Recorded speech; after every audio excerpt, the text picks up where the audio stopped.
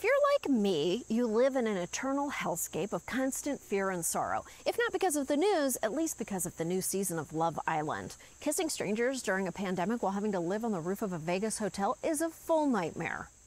As bad as things are, it makes sense that people are looking for comfort wherever they can find it, including from miracle products that promise to make them feel better and give them hope. But what can seem like innocuous woo, from charging your crystals in the moonlight to lighting a candle to ward off Mondays, can quickly devolve into pseudoscience that at best is a waste of money and at worst is dangerous. In fact, anti science behavior is on the rise, something that has directly undermined America's healthcare response to COVID 19. And women, in particular, are relentlessly preyed upon by companies that work to exploit their insecurities while making impossible claims. It's pseudoscience, and we can't talk about it without first addressing my favorite offender, Goop. With the Goop juggernaut valued at $250 million, all this publicity is probably part of the plan. Paltrow in the role of leader, she's focused on building a Goop empire. And in the largely unregulated wellness industry, the Goop Lab may bring her largest audience yet. It's not that we're opposed to conventional medicine. We just also are very interested in alternative medicine. I've always been that person who um, has sort of introduced the culture or the media to things that people think are weird. Is the ire and flack worth it to you? Oh, yeah, of course. Gwyneth, it is not worth it. I say that as someone who once got a comment online about my dump truck ass, and that was a compliment. Goop sells products that are perfect for the woman who has everything but the weirdest shit in the world. Things like vitamins that claim to help someone function at an intense pace, rip off Lisa Frank stickers that boost cell turnover, psychic vampire repellent, and a vibrator that is also a necklace finished in 24 karat gold. It's also a wine opener, so be real careful what setting it's on when you use it. Goop recommends questionable spa treatments like vaginal steaming, which involves sitting over a bowl of boiling hot water infused with herbs to cleanse and freshen the vagina. If that sounds dangerous and unnecessary, it's because it is. One woman received second degree burns after attempting to steam her vagina. Even weirder, those burns were on her face. Of course, None of that is going to stop Goop. They still sell products and treatments that claim to fix various medical issues, even as they're called out for fraud.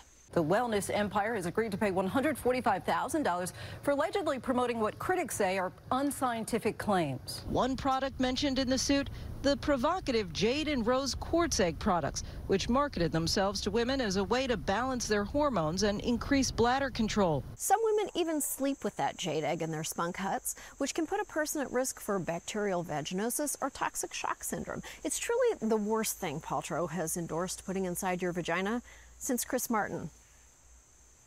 And it's not just Goop. The $4 trillion global wellness industry, which largely targets women, has run afoul of the FDA by promising claims they can't possibly deliver.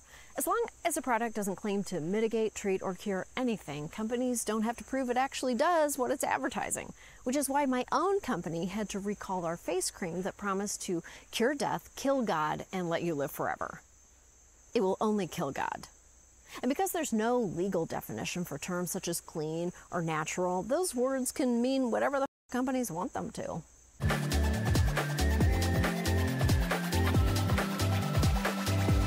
Clark's Botanical Skincare has clean, natural ingredients, all backed by science. CoverGirl, clean, fresh skin milk. Mmm. In Canada, we buy our skin milk in bags. People haven't been this obsessed with the word clean since they debuted the new sexy Mr. Clean. Mama's gonna need two mops when I see that man. In one survey, 90% of consumers believed that natural or naturally derived beauty ingredients were better for them. But chemicals aren't inherently bad for you. Too much of anything can be toxic for your body. It's like how one Arby's jalapeno roast beef slider is a tasty meal, but 20 will cause your baby to come out wrong.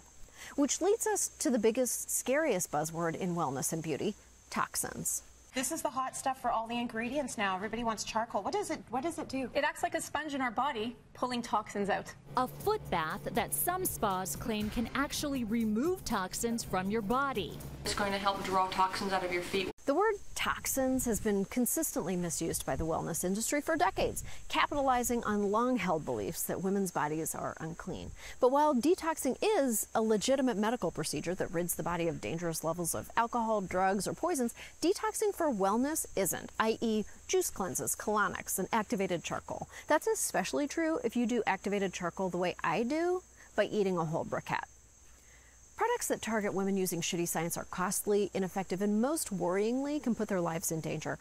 Sadly, it makes sense that women would be open to alternative wellness. Women face higher chances of misdiagnoses, have been left out of medical research, and frequently report that doctors take their pain less seriously.